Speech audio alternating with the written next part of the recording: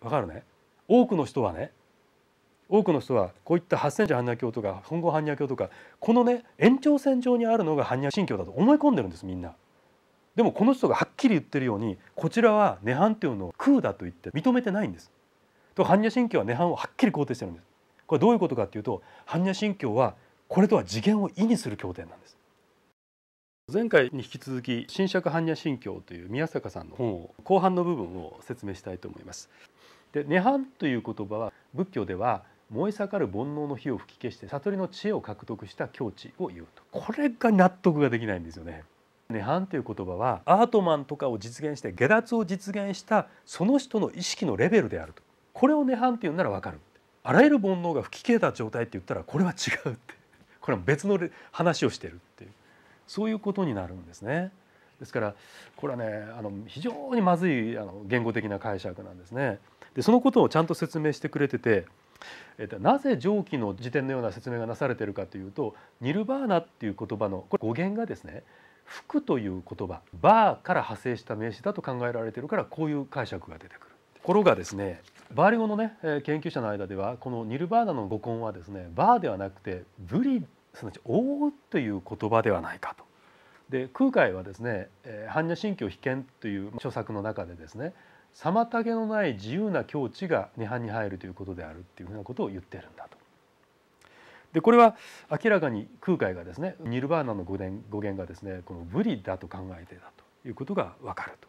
だから涅槃というのは覆いのない妨げのない状態覆いとか妨げって何かっていうことなんですけど多分心あるいはダルマこの人の説明では5位75法に説明されるようなダルマですよね。それが覆うものなんですね。で心はそれに覆われるものですよね。でそういうものがない状態。心に覆いのない状態が涅槃であると。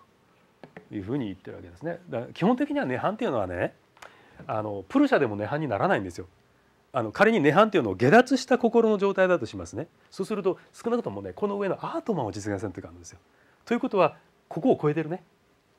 だから心心による心の妨げが一切ないんですよ。確かに、うん、その状態それが涅槃なんですよ。だからそちらの方がね本来のまああの意味に近いでしょうね。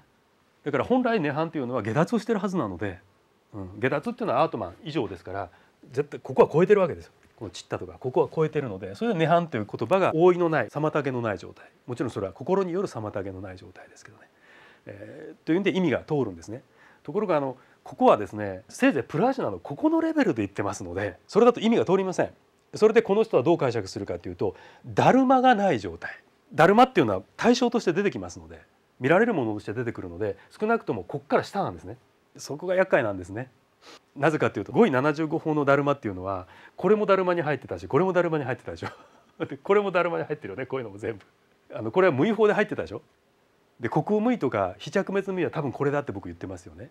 だけども彼らは三脚哲学的にこういうふうな序列で理解していないので仏教とはこれはあの僕が皆さんに説明するためにこういうふうに書いてるだけなんですねだから仏教徒自体はプラジナそしてここねを実現したものっていうのはあの一切ものがないその光り輝く空の世界の中に入り込んでそこには対象が見えないわけですよ。その対象をダルマだと捉えているのでダルマっていうのはこれよりもずっと低いところにあると信じてたわけですよ。多分この辺りだろうと。でそれからだんだんと空の世界に入ってくるわけね。でその中でだんだんとこのレベルにとどまっているものはおそらく橋梁部とかあの右傾省有意識派の方なんですよこのレベルは。せいぜいこのレベルはね右傾省有意識派でまだ対象が見えるんですよ。対象があるんですよ。ここまで来たものは無形省有意識派で対象も全部消えた空の世界って言い出すで光り輝く空って言い出すわけ。でそれは対象が一切ないんだからだるまもないって信じたんですよ。わかるね？だからだるまは彼らにとって下の方にあるんですよ。ここの方にある。わかるね？ところが ちゃんと見てると外から見てると仏教徒を離れてみると5位75法のだるまはこれ全部だるまなんだよこれ。これがこれだるまなんだよ。これもだるまこれもだるまなんだよ。ここが皮肉すっごい皮肉でだるまがない境地があるんだって言ってんだけどそのチッタってだるまなんだよね。でこれがだるまなんだよね。これもだるまなんだよね。っていうね。そのなんていうかね。僕が説明がすごく辛い辛いっていうのが分かるでしょ？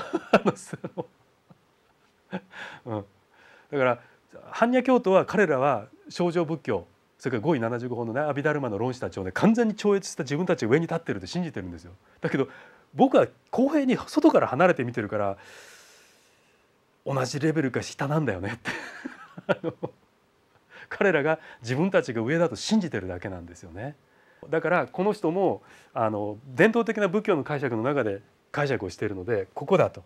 ものがない世界だと。だからダルマはもっと下の方に世界にあるのでそれでダルマを超えた境地、うん、それがプラジュナーでそういう高い境地が存在するんだよっていうそういうことの説明だって書いてあるんですよ。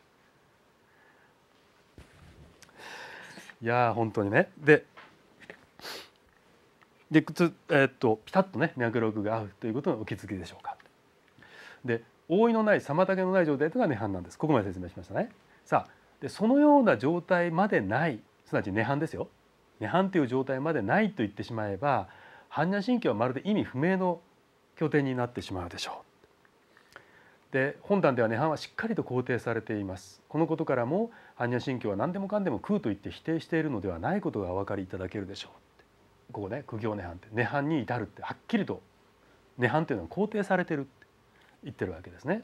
でこんなことをね書いているというのはどういうことかっていうと実はですねこの中ね170ページなんですが般若の知恵を説いている経典でそれを否定していたのではそれこそ般若心経は死に滅裂な経ということになってしまいます。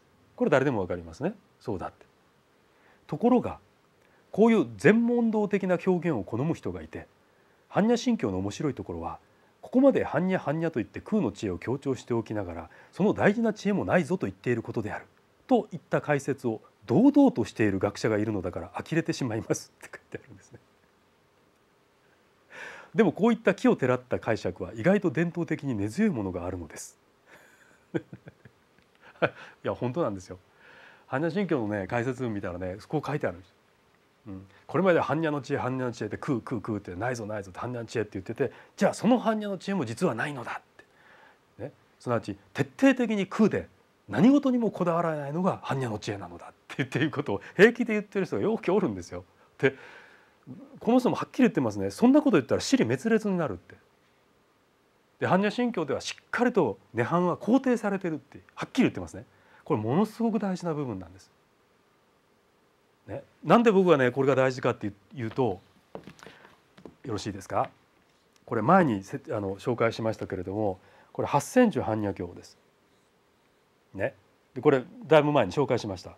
さあこの般若経八千条般若経の中では何て書かれてたかっていうと62ページね読んでみます。スブーティは言ったと。神々よ。次ね。涅槃も幻のごとく夢のごときものである。と私は言います。ましてその他のものは言うまでもありません。でかの神々は言った。スブーティ聖者よ。涅槃さえも夢幻のごとく夢のごときものである。とあなたは言うのですか。スブーティ長老は言った。ですから神々よ。もし涅槃さえをも超えたより優れたものが何かあったならばそれさえ私は幻のごとく夢のごときものである。と言いましょう。こうして夢と涅槃とは不死であり分けることはできないのです。って書いてある。んです要するに、えー、涅槃も幻のごとく夢のごときなものである。幻のごとく夢のごときものを8センチの羽教では空って言ってましたね。わかるでしょ？で物質は空だしこの世界は空だしいうことをずっと説明してたって言いましたね。だから涅槃も空なんですよ。ないんですよ。だからこの人はね般若心経は涅槃をしっかりと肯定してるって言ってますね。ここ涅槃はしっかりと肯定してるって。ところが八千条般若経は涅槃をね肯定してない否定してるんですよ涅槃まで空だと言って夢のようだって言ってるんですよ言ってることわかるね？ということはこの人はね涅槃まで空だって言ってないって言ったら死に滅裂な教になるって言ってるんですね。死に滅裂だって僕ずっと言い続けたでしょ？ね？般若経典っては死に滅裂であると。ね、何を言ってるか全然わからないってめちゃめちゃだってずっと言ってきましたね言ってるんですよ仏教とかちゃんと死に滅裂だってところが般若心経は死に滅裂じゃないんです。なぜかっていうとはっきりと涅槃を肯定してるからなんです。